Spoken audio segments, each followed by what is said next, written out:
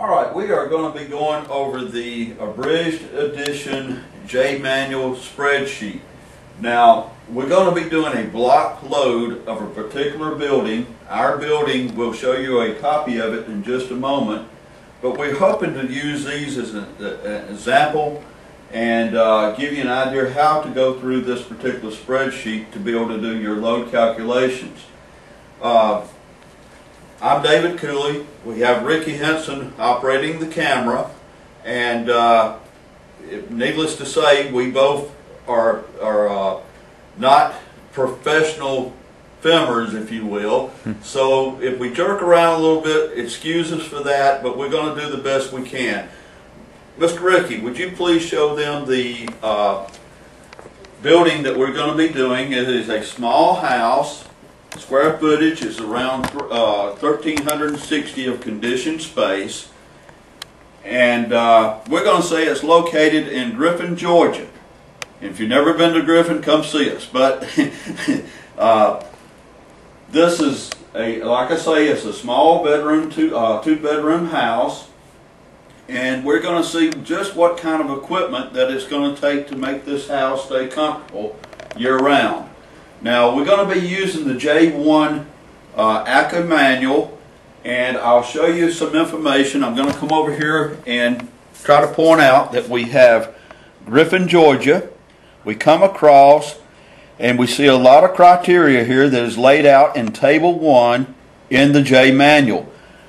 The beauty of our spreadsheet is it does a lot of the footwork for us. Now I'm going to point out what to do at this particular point to do the uh, location.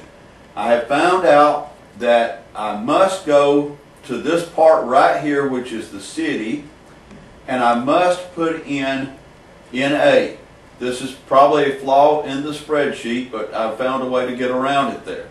Okay, once I enter that NA, I go down, I pick my state, Georgia, and then I go back and I pick the city. Now, I know you're probably saying, I don't, if, you, if you're out from some, away from some of the main cities, you may actually have to get a city where the climate is very close to what you have at your location. There's usually not a large difference between uh, a few miles of some of the smaller cities to the bigger cities, so don't worry about that. You can do that. Did you notice how all this went ahead and filled in for us? This information, for example, the outdoor 99% uh, dry bulb temperature for cooling is at a set 22 degrees. In other words, we're saying that 99% of the time we'll never have temperatures that are consistent below 22 degrees here. And the same thing for the outdoor dry bulb for the heating. We're saying that uh, only 1% of the time we will have temperatures that are above 90 degrees for any extended period of time. That gives us an HTD, the HTD of 48 degrees. That is the heating temperature differential. And you see a cooling temperature differential of 15 degrees. That is the difference between the 22 degrees and the indoor heating temperature of 70 here gives a 48 and the design cooling temperature dry bulb of 75 gives us a 15 degree differential when, it, uh, differential when it's 90 degrees outside. Now, notice that our indoor cooling RH is based on 50%, uh, uh, which tells us that that gives us a grains difference in moisture of 45 uh, uh, grains. Excuse me there.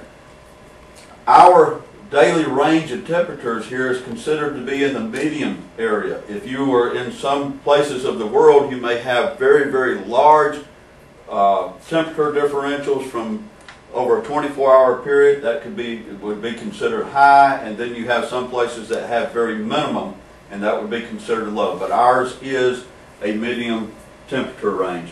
Latitude we need to know that because of the angle of the sun that affects some of the windows and things that, uh, uh, where the sun comes in. Our elevation has to do with the uh, actual air pressure and the uh, what's the word I'm looking for, the density of the air. Okay, let's, let's, let's roll with that, and, uh, we're gonna try to break this up into several different sessions. So, we're gonna next be going into our windows and doors.